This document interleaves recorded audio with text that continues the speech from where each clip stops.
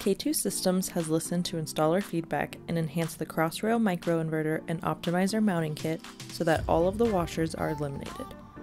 The new design with the single bonding bolt and the MK3 slot nut is UL listed and approved. To install the Crossrail microinverter and optimizer mounting kit, insert the wires of your microinverter or optimizer into the rail and push them down all the way.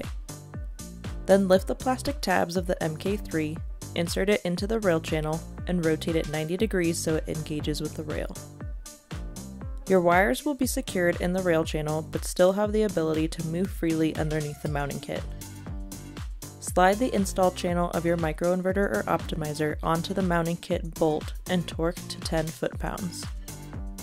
That's how you install the Crossrail microinverter and optimizer mounting kit. If you have any questions, please comment on this video. Thank you for watching.